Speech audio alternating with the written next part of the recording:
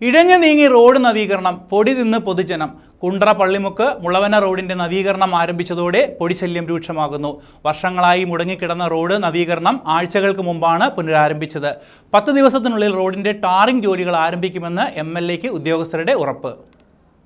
ആറു വർഷം മുമ്പ് നിർമ്മാണം ആരംഭിച്ച റോഡാണിത്. കരാറിൽ വീഴ്ച വരുത്തിയ ആദ്യ കരാറുകാരനെ നീക്കം ചെയ്തു. പിന്നെ നീണ്ട കാത്തിരിപ്പിനൊടുവിൽ പുതിയ കരാറുകാരൻ. എന്നാൽ റോഡിന്റെ നിർമ്മാണം പിന്നെയും വൈകി. ആഴ്ചകൾക്ക് മുമ്പ് റോഡിന്റെ നിർമ്മാണം പുനരാരംഭിച്ചു. എന്നാൽ ആ നിർമ്മാണവും ഇഴഞ്ഞു നീങ്ങുകയാണ്. റോഡിൽ മെറ്റൽ നിരത്തി ലെവൽ ചെയ്തു. ഇതോടെ കാൽനട പോലും ദുസ്സഹമാവുകയും പൊടിശല്യം രൂക്ഷമാവുകയും ചെയ്തു. റോഡിൽ മെറ്റൽ നിരത്തിയ ശേഷം കൃത്യമായി വെള്ളം തളിക്കാത്തതിനാലാണ് പൊടിശല്യം രൂക്ഷമായത്. ഇത് ജനങ്ങളുടെ ഇടയിൽ പ്രതിഷേധത്തിനിടയാക്കി. M L A P C വിഷ്ണുനാഥിന്റെ നേതൃത്വത്തിൽ ഉദ്യോഗസ്ഥരുടെ അടിയന്തര യോഗം കൂടി. പത്ത് ദിവസത്തിനുള്ളിൽ ടാറിംഗ് ജോലികൾ ആരംഭിക്കുമെന്ന് ഉദ്യോഗസ്ഥർ എം എൽ എക്ക് ഉറപ്പ് നൽകി.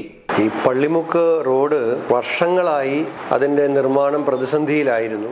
നാല് വർഷത്തിന് മുകളിലായി പ്രവൃത്തി ഏറ്റെടുത്തവർ അത് ചെയ്യാതെ വന്ന സാഹചര്യത്തിൽ. നമ്മൾ ഗവൺമെന്റിനോട് അഭ്യർത്ഥിച്ചിട്ടാണ് ആ ആദ്യത്തെ കരാറുകാരെ കരാറിൽ നിന്നും ടെർമിനേറ്റ് ചെയ്ത് വീണ്ടും റീടെൻഡർ ചെയ്ത് ആ റോഡ് നിർമ്മാണത്തിന്റെ പ്രതിസന്ധി നമ്മൾ താൽക്കാലികമായി പരിഹരിച്ചത്.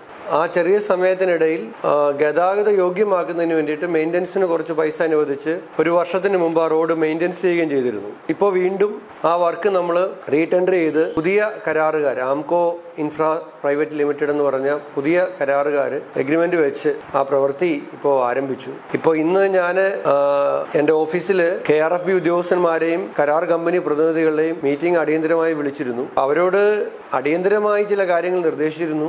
ഒന്ന് ഇപ്പൊ അതിന്റെ ലെവൽസ് ഇന്ന് റിപ്പോർട്ട് ചെയ്തിട്ടുണ്ട്. ആ സാങ്കേതിക കാര്യങ്ങളൊക്കെ വേഗം പൂർത്തിയാക്കുക. ഒരു പത്ത് ദിവസത്തിനുള്ളിൽ അതിന് മുൻപുള്ള നടപടിക്രമങ്ങൾ മുഴുവൻ പൂർത്തിയാക്കി ടാറിങ് ആരംഭിക്കാനുള്ള നിർദ്ദേശമാണ് കർശനമായ നിർദ്ദേശമാണ് അവർക്ക് നൽകിയിരിക്കുന്നത്. റോഡിന്റെ നിർമ്മാണ ഉദ്ഘാടന കാലഘട്ടത്തിൽ മെഡിസിന് പോയ വിദ്യാർത്ഥികൾ ഇന്ന് ഡോക്ടറായിട്ടുണ്ടാവാം. എൽ എൽ ബിക്ക് പോയവർ വക്കീലും. എന്നാൽ റോഡിന്റെ നിർമ്മാണം ഇന്നും പൂർത്തിയായിട്ടില്ല.